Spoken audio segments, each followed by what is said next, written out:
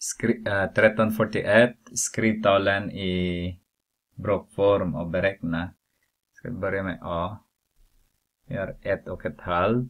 Adderar med ett, ett och en, fjär, en och en fjärdedel. Så en och en halv.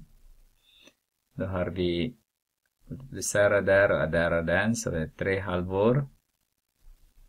Och multiplicera den, addera den, det är fem fjärdedelar. Så har vi, om vi förlänger den med två, förlänger den med två, så har vi sex fjärdedel och fem fjärdedelar. Sex fjärdedelar menade jag. Så har jag elva fjärdedelar. Och sen i blandad form blir det två. Och sen tre fjärdedelar. Två stycken och sen resten är tre fjärdedelar. Ska vi titta på B.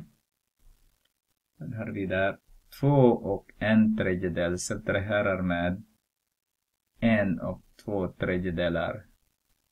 Så gör vi multiplicerar, adderar, sju tredjedelar. Subtraherar med, multiplicerar, adderar, fem tredjedelar. Så har vi två tredjedelar kvar.